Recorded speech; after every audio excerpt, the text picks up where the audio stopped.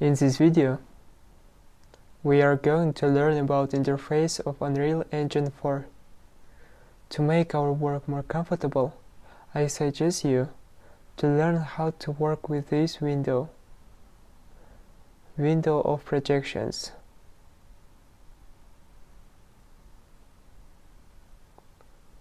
If you want to turn the camera, you need to press and hold the right button of your mouse. Like this.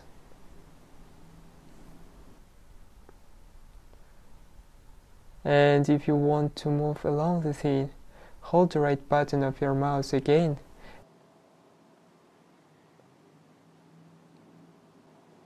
And like in the games, with W, A, S and D are the buttons for going forward, back, left and right.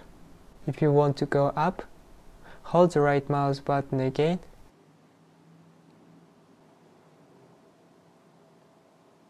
and press E. Press Q for going down.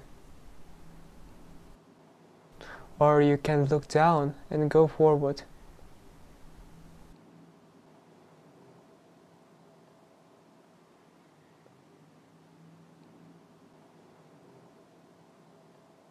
Okay, you can change moving speed here.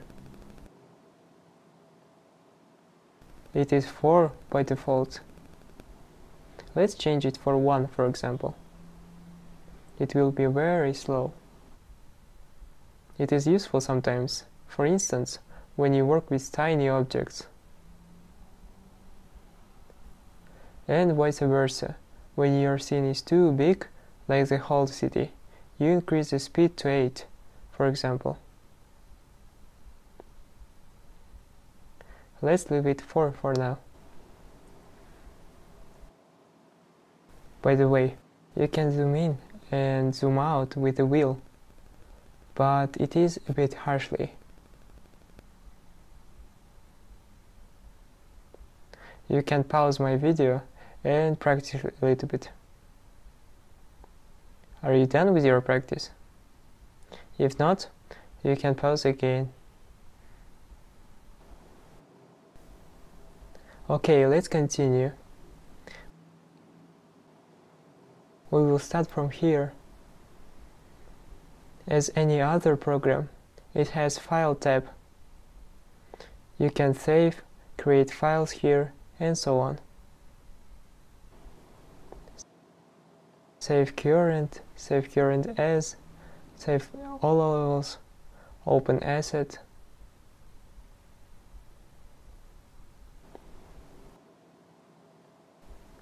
and these are related to projects but we are not going to use it often because these options are out of this course.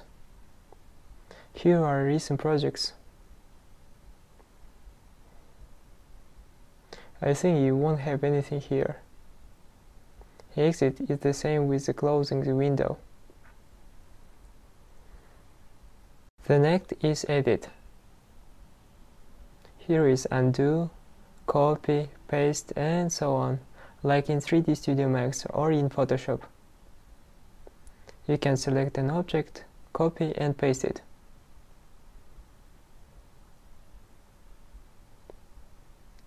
Edit the Preferences We don't need it now.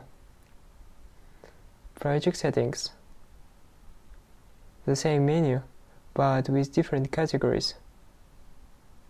We don't need it too. And plugins, which we don't use. I haven't ever used them.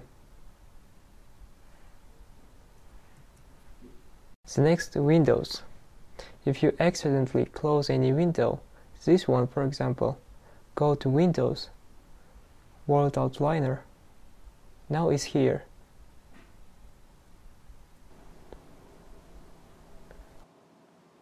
Layers, levels,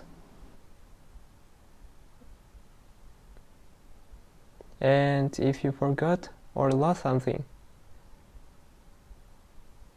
you can make reset layouts.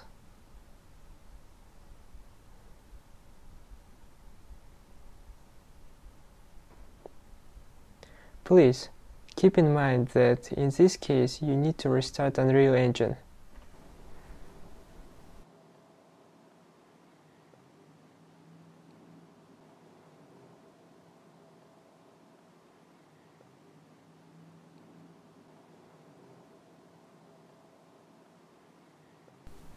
Okay.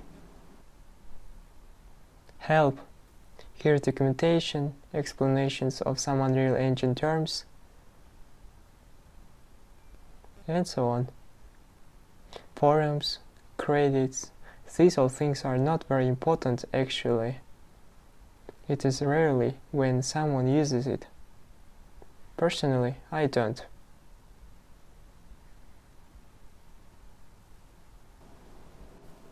Okay, next. Modes. Here's as in 3D Studio Max, a panel to create some basics. For example, lights, cubes, and etc. It is an engine for games first of all, so it has additional triggers and things like ambient sound and so on.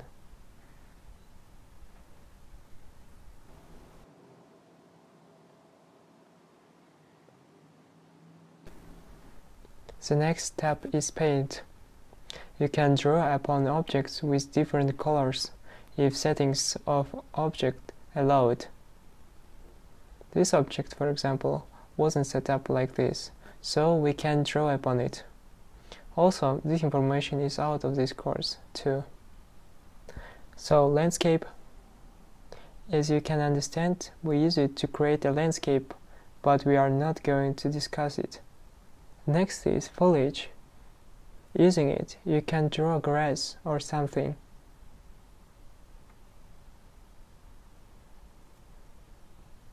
For example, like this. Let's create a simple landscape. Create. Let's wait a little. Here it is. Now go to foliage. Let's take a stone for example.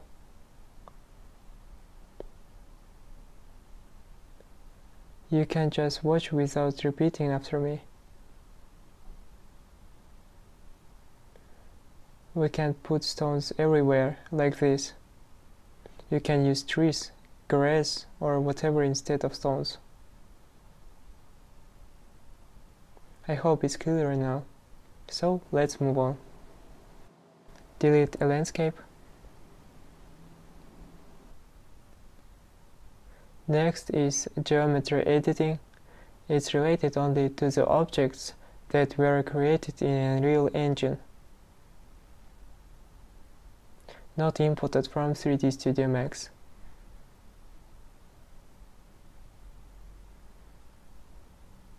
You can take an object from here and edit it like this.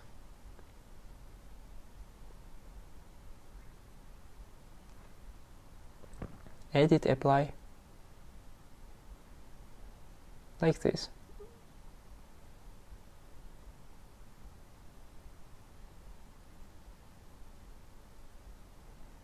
Let's delete this object here you can find different categories, like lighting, cinematic, and so on. Cinematic is for cameras, visual effects. Here are the things like post-editing, reflections, geometry, volumes. Volumes are for installing different events to improve light map calculations to increase in some places and vice versa to decrease in other places. All classes. Here are all objects.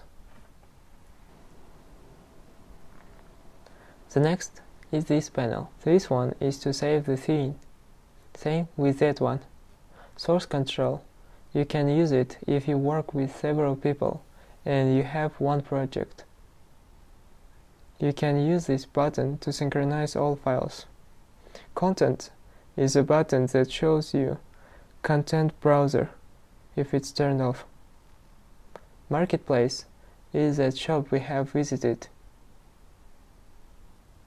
If you press Marketplace, you will be directed to that market. Next, Settings. Let's take a look at this one. Engine Scalability Settings. All is Epic by default. You can change it. These all are about quality of picture that you see.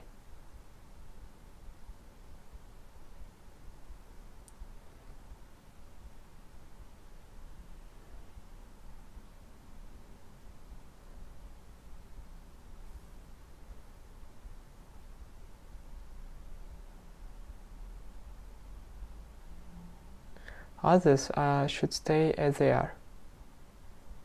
The next are blueprints. In this project we are going to use it only once, when we will create a clock.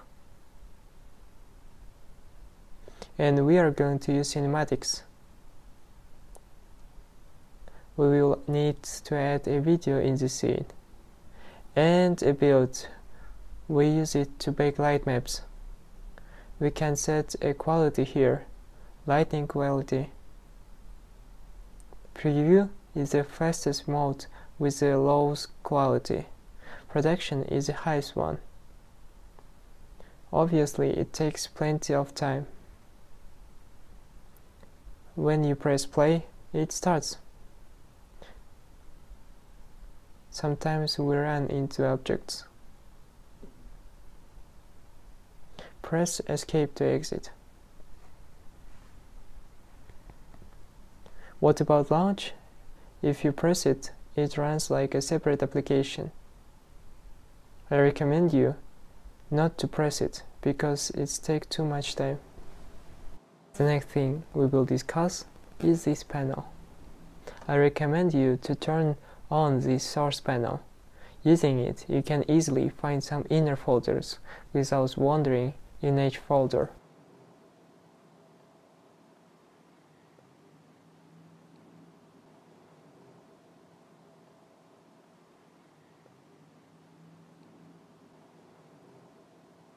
Here's an import button. We use it to import our FBX files. Actually, it is possible to import a plenty of file types. Save all. This one is the same with that one. While using filter option, you can filter objects which ones should be shown and which one are needed. For example, material, static meshes, textures, and so on. The next thing is World Outliner. It is a hierarchy of objects in 3D Studio Max.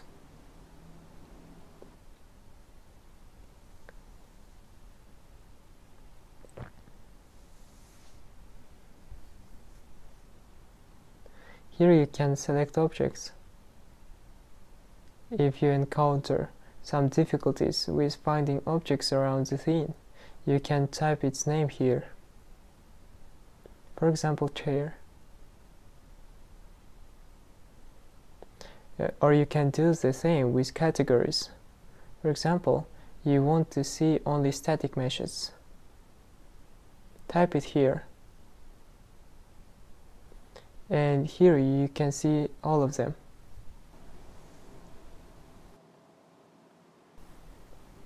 Here's an additional tab. Details. Here you can see details of selected objects. Location, rotation, scale, and so on. In Unreal Engine, unlike 3D Studio Max, it shows us 1 instead of 100%.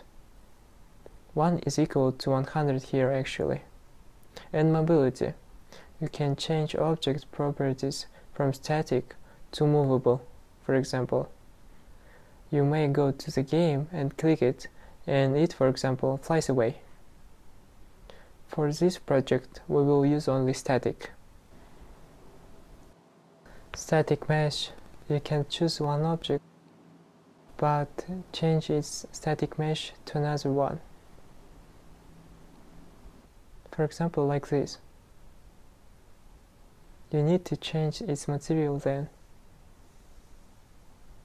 and apply. So Ctrl Z, Ctrl Z, Ctrl Z. It was for illustration. And these settings we will discuss along the way of our course.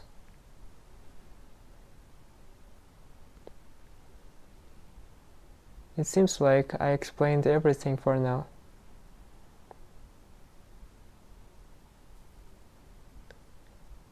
And I think I can finish right now.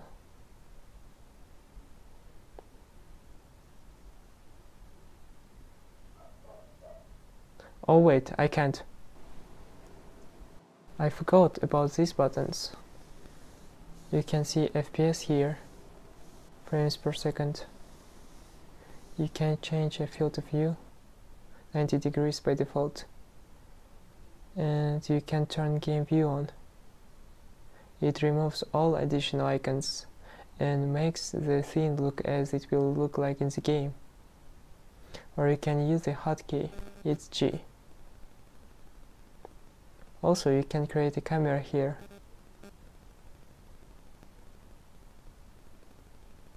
Now I will delete it.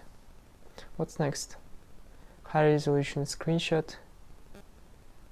But we won't use it because we have F9 hotkey for it.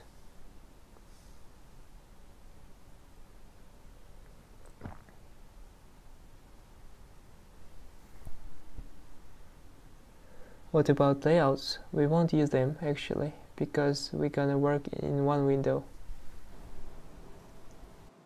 And now, perspectives. Here are different options, top and so on like in Max.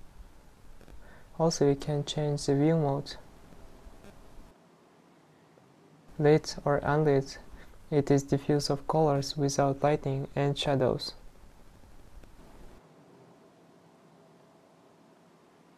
Let's go back. Show, here you can show or hide some objects. Grid, for example. Static meshes.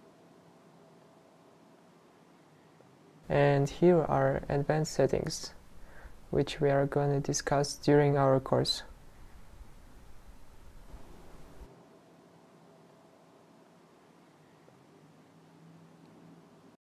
and here are rotations and moving functions select an object now you can move it you can select and rotate. The hotkey is E and for that is VW scale. You can change its size. Here you can change to local mode. Gizmo.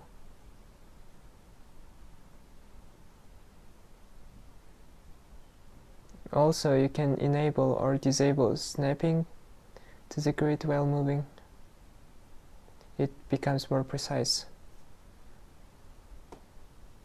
Or you can change value here. Not 10, but 1. Or 500. Okay, let's try 100 because 500 is too much. This is a rotation. You can increase or decrease its value too. And this is scale settings. The hotkey is R.